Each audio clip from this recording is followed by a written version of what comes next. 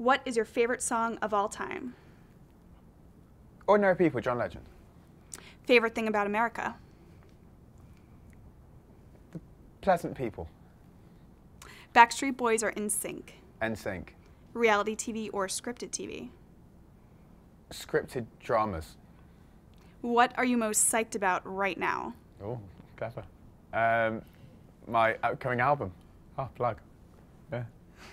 Italian food or Chinese food? Oh, tough. Italian food.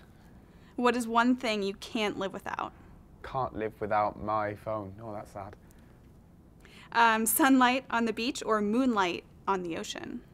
Oh, kinky. Uh, Moonlight on the Ocean. Most underrated Boyz II Men song? Ah, doing just fine. Ah, what a tune. Worst question to get asked in an interview? Strangest place you've had sex. Why would I tell you that?